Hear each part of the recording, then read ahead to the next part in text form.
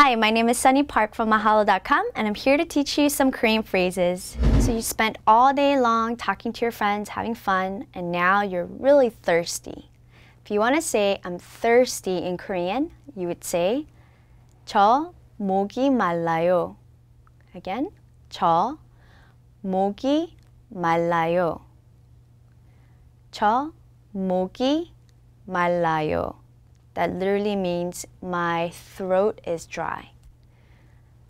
저 목이 말라요.